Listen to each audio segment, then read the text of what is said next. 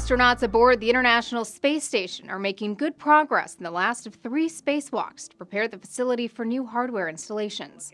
NASA's latest report put Terry Virts and Barry Wilmore an hour ahead of schedule. And Mission Control is surely happy to report their suits are working properly. Terry Virts said a small amount of water leaked into his helmet at the end of the second spacewalk last week.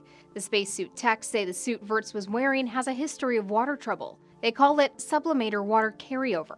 In even more technical terms, a small amount of residual water in the sublimator cooling component that can condense once the environment around the suit is repressurized following its exposure to vacuum during a spacewalk, resulting in a tiny amount of water pushing into the helmet. Water in spacesuits has been a recurring issue for the ISS crew. In one instance, it was more than just a tiny problem. I feel a lot of water on the back of my head, but I don't think leaked from my back. European Space Agency astronaut Luca Parmitano was mid spacewalk when his helmet began to fill with water. He and his partner immediately canceled the job, but Parmitano lost vision and radio communications in the time it took him to get back inside. NASA has since inspected and replaced the suit's cooling systems and installed low tech backup safety measures an absorbent pad to soak up wayward water, and an emergency snorkel the astronauts MacGyvered together from plastic tubing and Velcro.